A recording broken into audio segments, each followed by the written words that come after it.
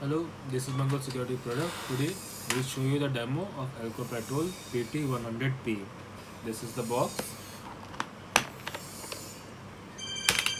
This is the manual. This is the AlcoPatrol 100P. This is the Bluetooth printer. It is thermal uh, Bluetooth printer. This is the paper roll.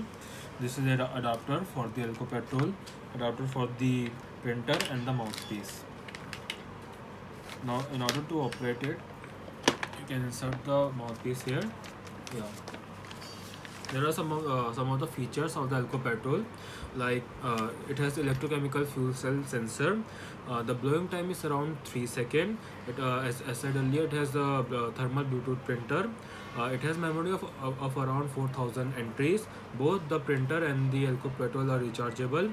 It has one year warranty and calibration period is also about one year. It also has a special feature of data to pc transferable. Now I, i'll show you how to operate it here you can see.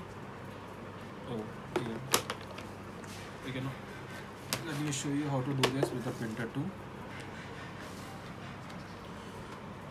There is a small button here. If it's red you have to uh, push it up. Uh, it will show you green.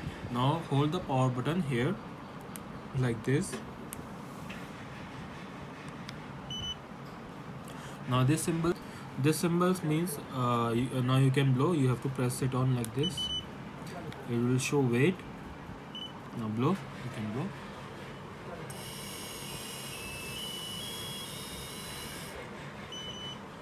Now there's no alcohol content it, will show zero reading. Press it here.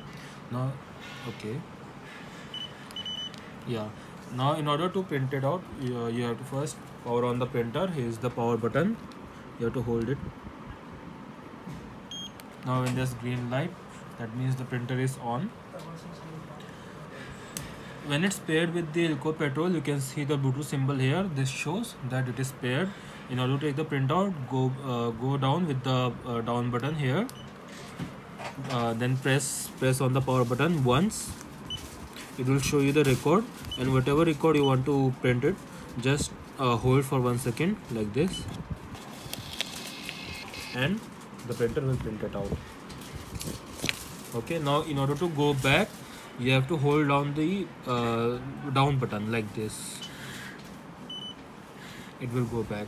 And in order to power it off you have to hold, hold the power button just as earlier. Now it will be powered off